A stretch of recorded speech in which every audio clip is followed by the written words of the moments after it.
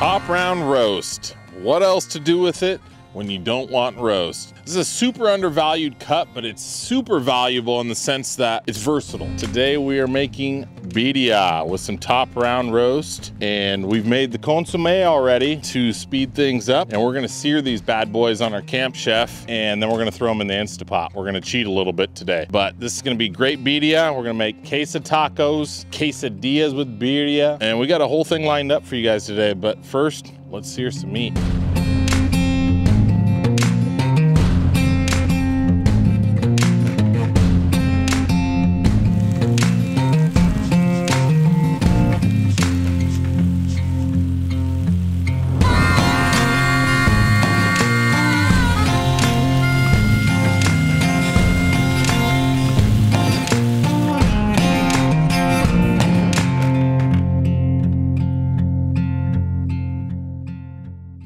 So we took our top round roast and we seared it on our griddle. And now we're gonna cheat a little bit and put this top round roast and this consomme I made prior into the Instapot. Make it super simple, set it, forget it, we're on to the next. So we're gonna take the meat, throw it in there, set it in there in a nice uniform manner. And then we're gonna make this, uh, throw this nice tasty consomme that we made with guajillo peppers, California chili pods, garlic, cumin, cloves. It's got a lot of different stuff in it. Uh, sesame seeds, and we're gonna throw that in there, and it's gonna be so tender.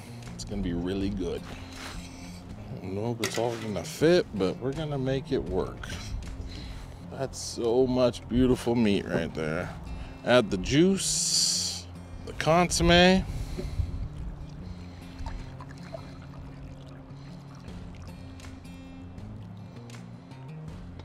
We're just gonna add some water to this. We're gonna put the lid on it, lock it in, two hours, tender meat.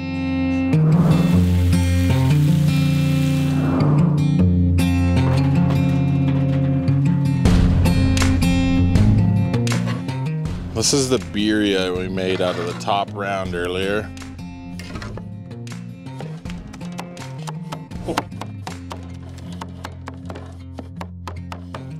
And we're gonna make a pizza out of it. I want you to try it though. Oh my god. We're gonna put that in quesadilla. That is so good. Hell yeah, it's really good. Wow. Mmm, that came out perfect. Birria pizza, guys. We're gonna take a little bit of the consomme from the meat, and we're gonna spread it on here on the dough just like so. And to that, a little bit of red sauce. That's gonna be our red. That's gonna be our consomme. Pepper oil, birria meat, and queso Oaxaca. We'll top that off with a pico de gallo when we're done. Let's take it to the oven.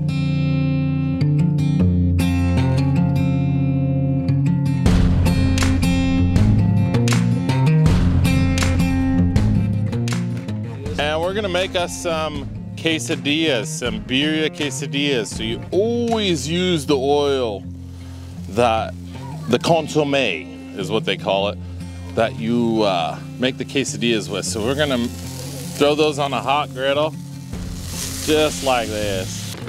Quesadilla queso, consomme. We're gonna take a little bit of that,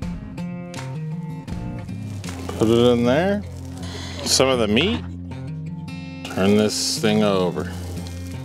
Be the best quesadilla you ever had in your lifetime.